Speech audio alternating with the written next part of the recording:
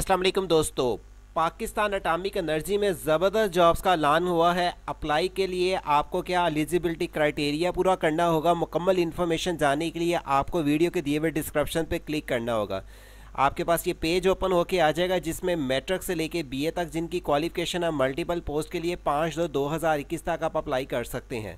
Advertisement पर आकर read out करेंगे, इसमें तमाम इंस्ट्रक्शन लिख दी गई हैं, किस पोस्ट के लिए कितनी एजुकेशन चाहिए और कौन सा स्केल की वैकेंसीज़ हैं।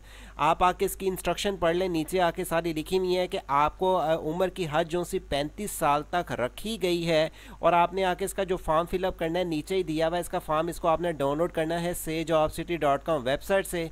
इस फॉर्म को डाउनलोड करने के बाद आपने सिग्नेचर करने हैं, मकम्मल फिलअप करके आपने इस एड्रेस पर सबमिट कर देने हैं। मसीज, इस तरह की इंटरेस्टिंग और जॉब जानने के लिए आप विज़िट करें वेबसाइट हमारी से job city dot com every day base पे आपको जॉब अलर्ट्स मिलती रहें। पाकिस्तान के तमाम गवर्नमेंट प्राइवेट सेक्टर और इंटरनेशनल फ्री वीज़ों की इन्फॉर्मेशन तो आपको ये वेबसाइट ये वेबसाइट पे आपको अप टू डेट इन्फॉर्मेशन मिलती रहें।